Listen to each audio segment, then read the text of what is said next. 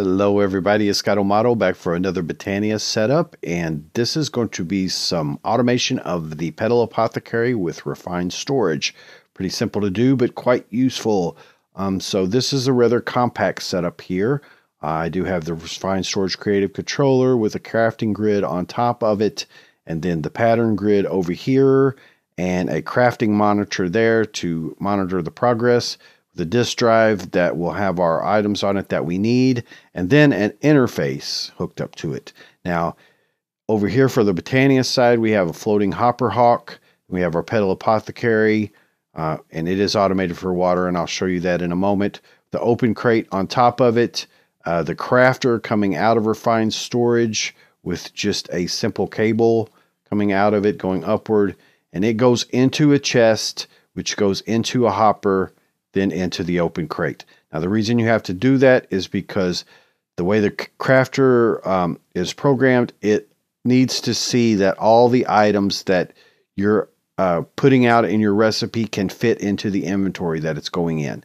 The open crate will only take one item, so it won't uh, interface directly to it because it doesn't see it as being able to hold those items, which in fact it can. It can only hold one at a time.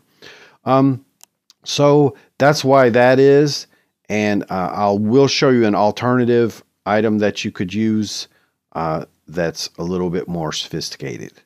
But this is a pretty simple setup and it works well.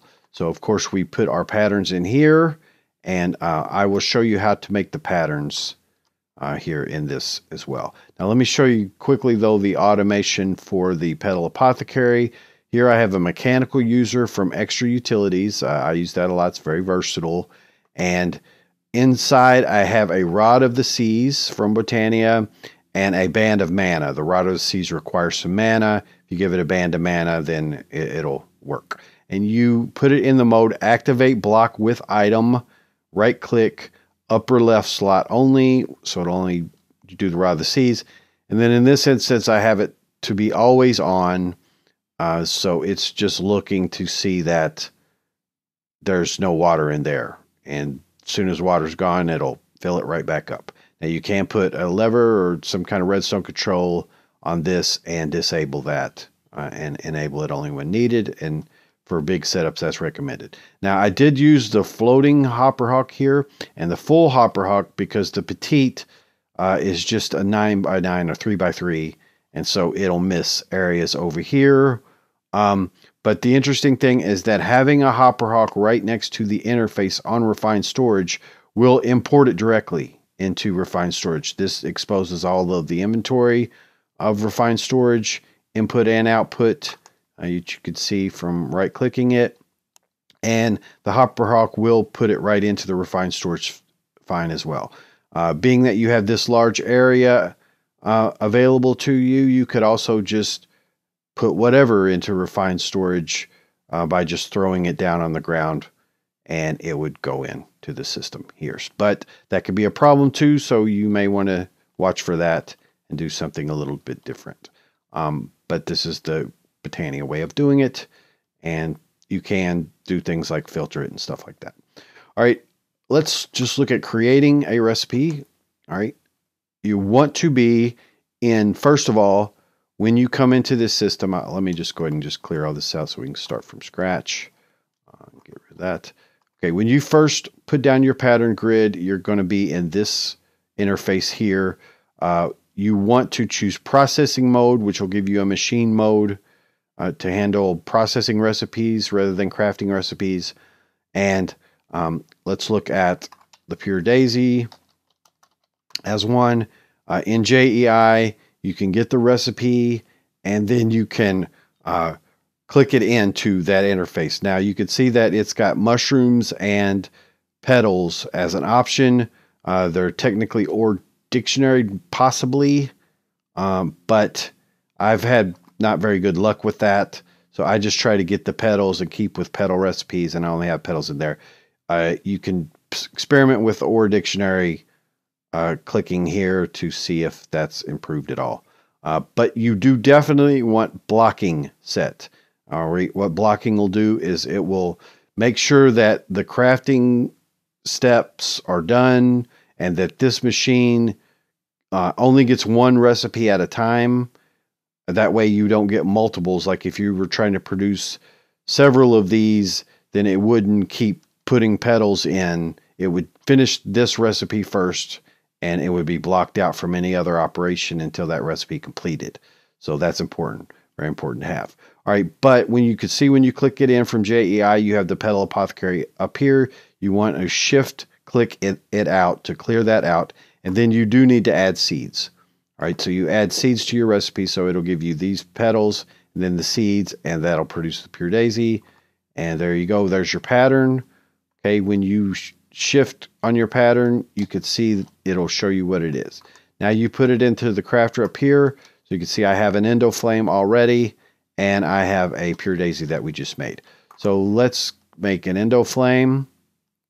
Uh, when you click on it, uh, I'll just give this brief tutorial. You can see it says craft. That means there's none in your system. You can craft them. So you click and it'll give you this interface. You choose how many you want. Let's just do one and it'll go and do it. Did I click away from it? Um, oh, I had a pure daisy in process in between. All right. That you could tell here in the crafting monitor what's going on and if there's any problems with your setup. Uh, here we go. So that'll drop the items in, drop the petals in, and then produce the um, Endoflame, and it'll be grabbed there by the Hopperhock, put into the system, completed it. We now have an Endoflame in the system. Let's do a pure daisy, same technique. Oops, uh, hit it.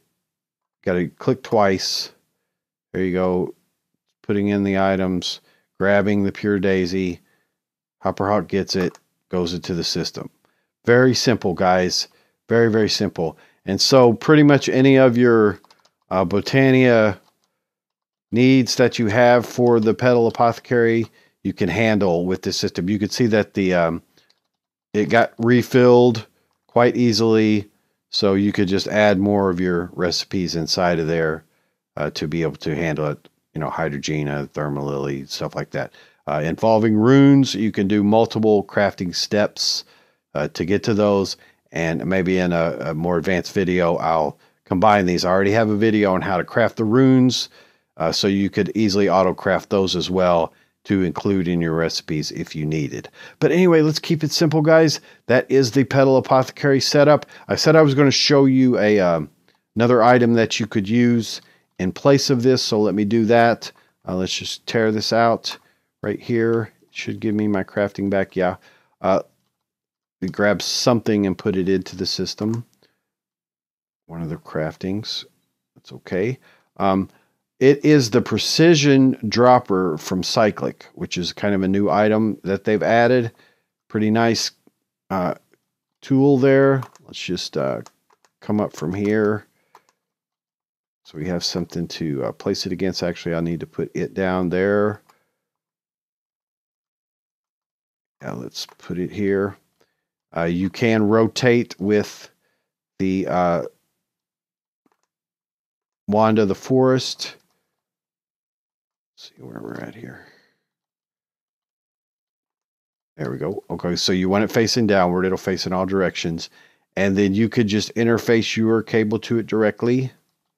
Uh, well, not it directly with the crafter. Crafter, crafter, crafter.